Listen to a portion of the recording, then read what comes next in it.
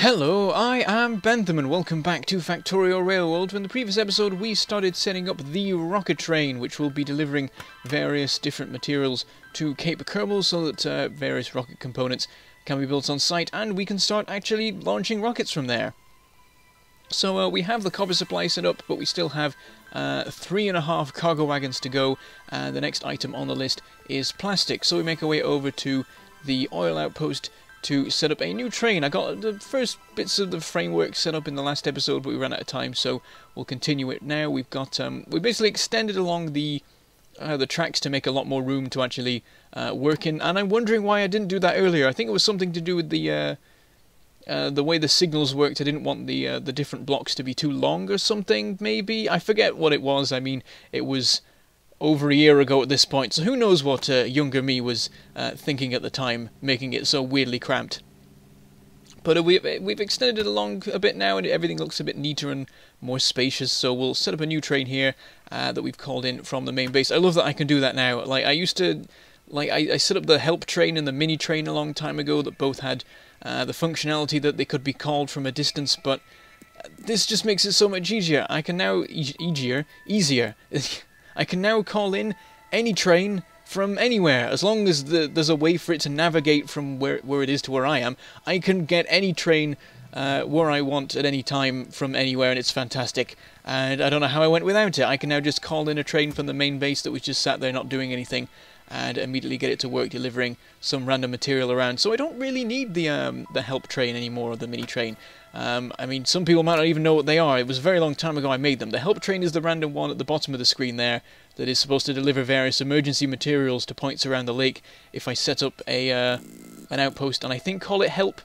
It, maybe it was help or maybe it was A, something like that. And there was a similar thing I think with the mini train where I could call it into um, to the midpoint if needed to deliver a couple of bits and bobs that um, that didn't need the mega train uh, to bring them uh, and stuff like that. They are sort of pointless now. I can just call them in normally. I mean, it's fine that they're sat where they are. I can just get rid of their their um their schedules and do it manually, basically. And it, I guess it could be quicker to set up the station like that, but it, yeah, the, the the have made things a lot more convenient now. But yeah, and, and I, I, digress. We've got the uh, the train in place, and we've started getting the uh, the plastic being delivered in, and so suddenly the, the, the plastic system is going at full pelt, and uh, we're running down our, uh, our supply of petroleum gas. So I get some uh, some more cracking plants in place to try and uh, mitigate that a bit. We probably need more than the two that I had, but uh, it's a start, and we'll see where things go from there. The thing is that uh, like we'll probably just start burning through our uh, light oil supply as well if we if we put a lot of cracking plants in. So we'll put in two and see how that goes, and go from there. But yeah, we're probably going to need more oil supply to keep everything running here because not only do we need a bunch of plastic, we also need a bunch of solid fuel, so I'll have to set up a system for that as well and get that sorted. So yeah, so we've got this one train, it's going to have the, the plastic and the solid fuel loaded into it, and then it's just going to go down to the south station array that I still haven't come up with a proper name for, and um, park up right next to the rocket train so that things can very quickly be belted in because um, we could use like the, the the train that goes to the main base, but that's already sort of at capacity. We could put another cargo wagon on it, but um, it makes more sense to have another one that goes straight to where the stuff actually needs to be delivered, rather than to vaguely closer. Um, so yeah, we'll have this new one. I forget if I give it a name really. I guess I'll just call it the plastic train or the the solid fuel train. Plastic train rolls off the tongue a bit better, uh, though that is what I used to call the train that runs to the main base from the oil outpost. I could call it the oil train. That's too confusing. I'll work it out. I'll, I'll, yeah, whatever. Um, so yeah, this um, this uh, station gets called plastic loading, um, even though there's multiple plastic loading places around the place at this point. And then we go over to the uh, the south station array and set it up on the other end. We basically get it delivering to South 3, which we renamed to Plastic Unloading. And um, this is our first sort of usage of the, it's sort of ruins it though because like the whole point of these stations that I set up here is that they perfectly fit uh, trains with two cargo wagons and have queuing space. And then the first one I've actually given a job to, I've made it like deliver, uh, I made it unload a train with one cargo wagon, so that messes it up a bit, but it's the most convenient place. We still have three of them left that we can put other stuff in. We're sort of using uh, the South 1 station for uh, the loading of uh, of concrete for any uh, journeys we take up to the um, up to Cape Kerbal at the moment. And 2 and 4 are currently unused. Uh, the sort of idea I had when I was setting them up was that they would replace the current stations we have on the North Station array, um, so that we can have queuing and stuff properly set up, but so far I've not bothered with it because we don't have that many trains delivering there anyway. We might get a bit more stuff going now though, that we're using uh, like insane amounts of, uh, of copper for the um, for Cape Kerbal, that might start needing a bit more delivering, because I think we only have the one uh, like furnace array of copper at the moment, because uh, once we uh, moved circuit production over to a separate outpost, the uh, the copper demand went down quite considerably. We might need to set it back up again now, or maybe get some being delivered in from the circuit outpost or something. We'll work it out. What is more likely is that we'll have shortages in other areas that are worse than we have in copper anyway, such as solid fuel, which I start um, looking at setting up now. And uh, of course, we'll need a lot more chemical plants than we do. We've got one at the moment, and that was just about enough to get a, a vaguely decent supply of rocket fuel for a single rocket and yeah, we want more than that. So what I'm thinking is 10, maybe 20 um, chemical plants, and that is going to destroy the oil supply, but um, we'll just have to deal with that and work it out. Uh, so yes, I go back to the main base to get some um, some chemical plants, and I realise I don't actually have any chemical plant production, or at least I can't see it. Maybe it's buried uh, amongst all these random uh, bits and bobs everywhere, but as far as I can tell, I never actually set up a uh, assembler for chemical plant production, so we start putting one in place, and conveniently uses the exact same materials as a pump jack, so we can just extend along these belts a little bit and set it up right next to it without any trouble. And start getting them crafted for us, because crafting them manually is sometimes tedious. Usually I only need one or two at once, but this time needing 10 or 20, um, it, I, I cannot be bothered making those all in the hotbar. So we start getting that working, um, but I realise that's going to be slow as well, so I basically just uh, use my hotbar as well. I make 10 in my hotbar, 10 in the assembler, and that way we'll get them made uh, as soon as possible and uh, go from there. I don't know, like I don't know whether we'll need the the whole amount or not. I wouldn't be surprised though.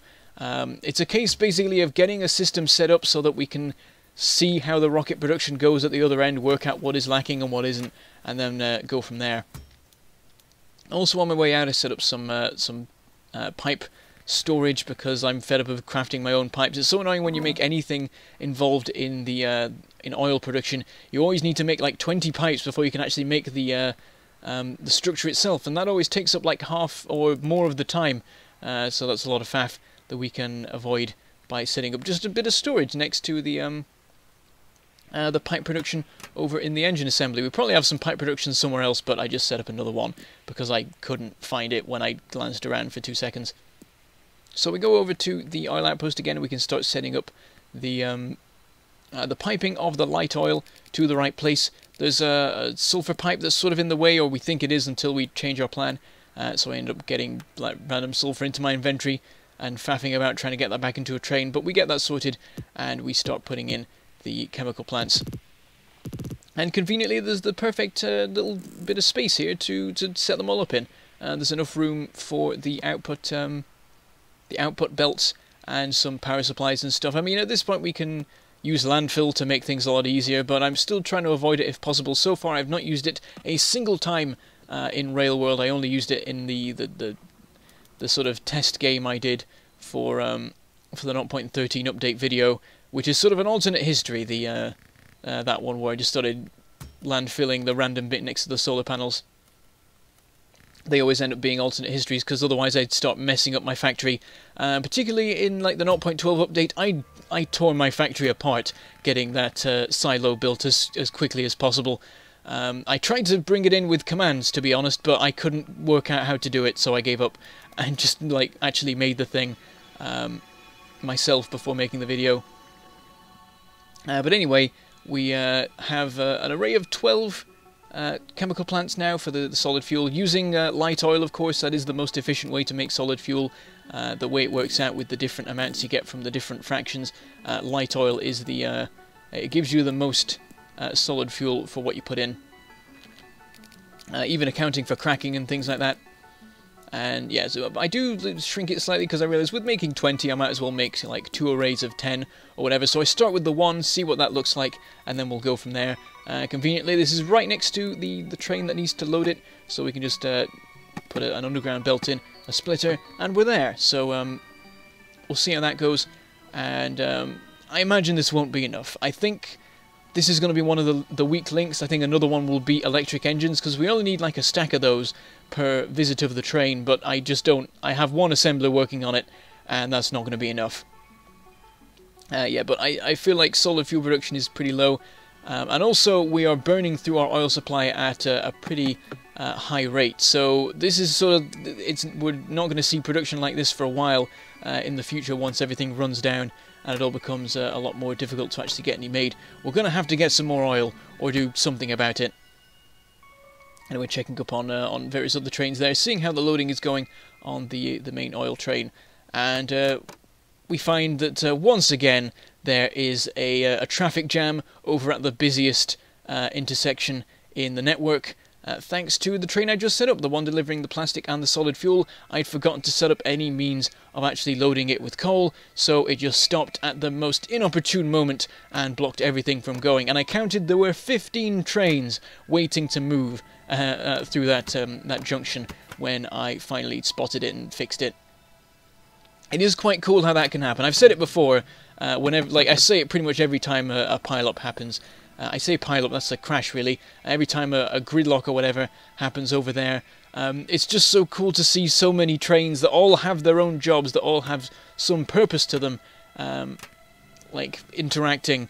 And just having a network that big is just awesome. It's the entire reason that I made this series, and the entire reason that I carried it on, on well beyond um, its end in like episode 34. We're we're now at triple nearly the uh, the number of episodes since we actually finished the game.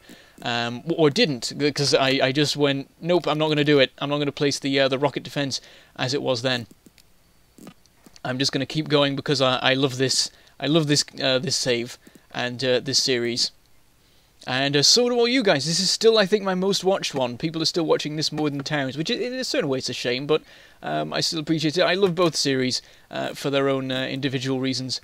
Um, yeah, this one, one is definitely fun for just like the giant rail network. I don't think Towns' network will ever get quite as big uh, as this one. It's more about the intricacy with uh, with Towns and the uh, and following interesting rules and making something unique.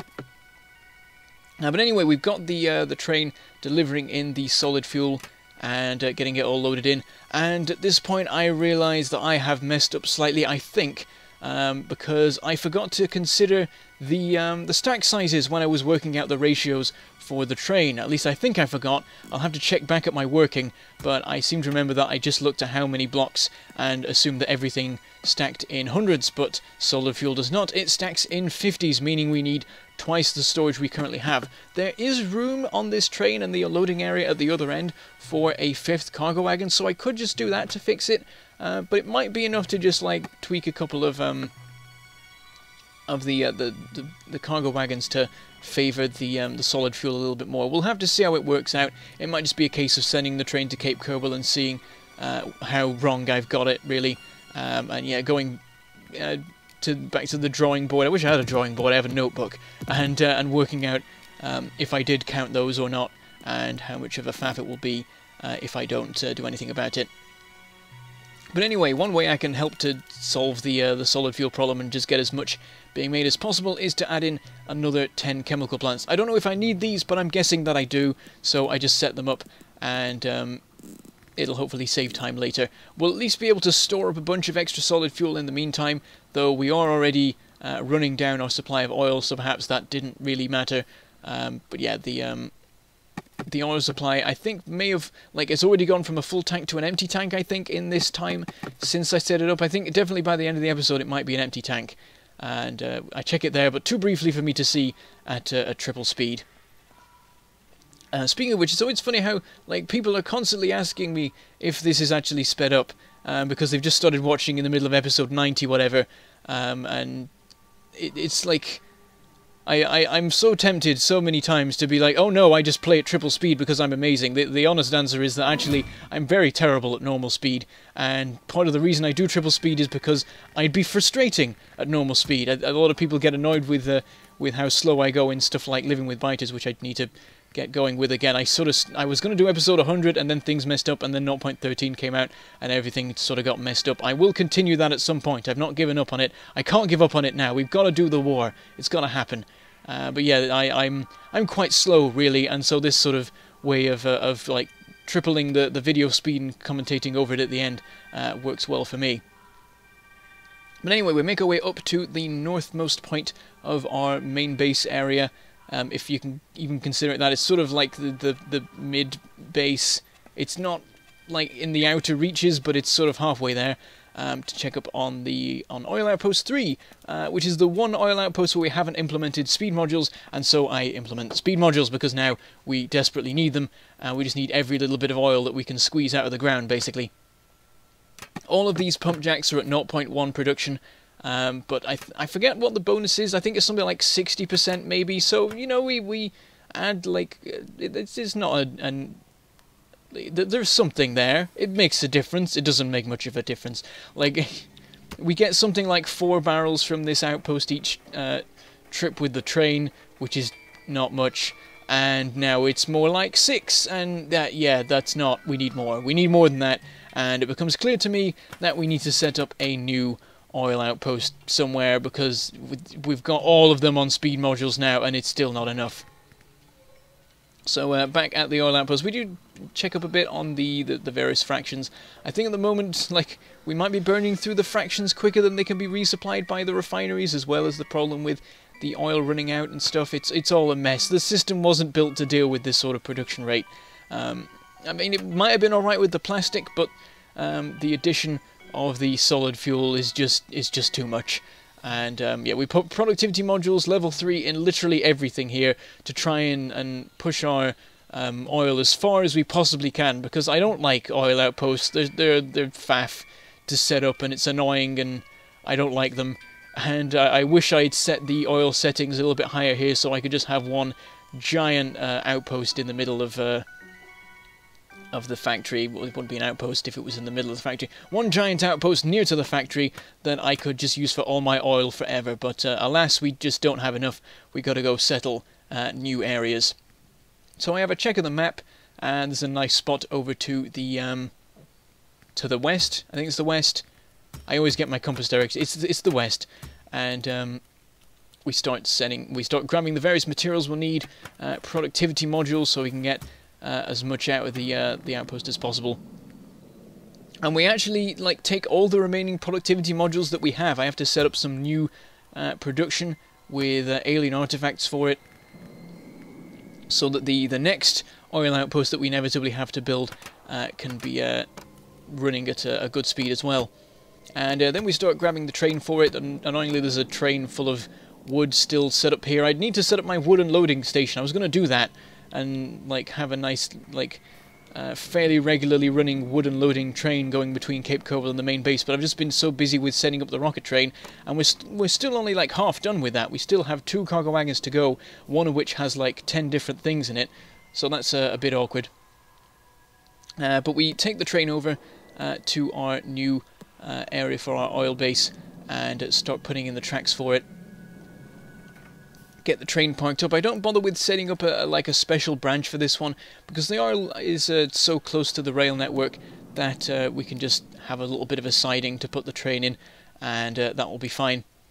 Get the station set up and this will be oil 4. I don't know why I call them just oil, I suppose because I call the oil outpost oil outpost. So these ones are just oil. Um, which is sort of backwards really to how I do it with it, the rest of the system where I do outpost for the outposts and then just the, the, the material for the um, the unloading area. But we get the pump jack set up, we put six in place. I thought there were seven, annoyingly, so I took one extra than I needed to. But whatever, we, we it's like there's not much of a difference. Uh, I do mess up with the the signals, so one of the trains ends up trying to get into the wrong place and getting stuck and starting to hold things up. Not many trains come this way though, anyway, so it wouldn't have caused too much problem. I did notice there that one of the um, the iron trains going to Iron Outpost 3 actually had an empty cargo wagon, so I do need to check on uh, exactly why that is. Perhaps we're using um, a bit too much uh, iron at the moment. Though the factory shouldn't have too much to do, copper is going to be the main thing, um, and it, that's probably still fine. I don't think copper will be the limiting factor, even though we've only got one um, production column working there. We actually have less copper production in the main base than we do in the in the circuit outpost. Uh, but I think that'll be fine. I think there'll be many other limiting factors that are worse than that. Uh, which is why we're trying to sort out the oil thing. Uh, but yes, I start getting the, the pipe set up, and uh, we'll put in a, uh, a, a, holding tank, or whatever it's called, something or other tank. So it begins with a, with a H. I've forgotten. Uh, but yeah, we'll put, we'll put in a tank for the oil. We probably don't really need it because there'll never be any oil left in the pipes here. It'll all be turned immediately into uh, into barreled oil to be delivered over to the oil outpost. And we got our assembler array set up and everything, and uh, we'll put our tank in. Uh, but I realise maybe, maybe I thought H because of fluid handling.